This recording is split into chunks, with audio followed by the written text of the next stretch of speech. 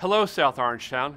Last week, we received word that Tappan Zee High School was named a high achieving recognition school once again by the New York State Education Department. This designation reflects the hard work of our teachers, support staff, and administrators in partnership with our community to ensure that all students succeed. We celebrate this accomplishment with the awareness that our world and how we meet the needs of our students has drastically changed within the past few months. Educators and policymakers have been talking about 21st century skills since the late 1990s. For years, we've invested in technology and professional development to support tech infused, student driven learning. But this crisis has challenged all of us to reimagine and redesign how we deliver public education. We've already laid the groundwork. In December, we invited our school community to contribute to the revision of our district's mission statement. Nearly 1,000 of you responded.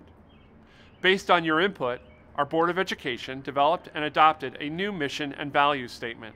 The mission of the South Orangetown Central School District is to elevate, engage, and inspire through personalized and exceptional educational experiences that ensure all students achieve to their fullest potential.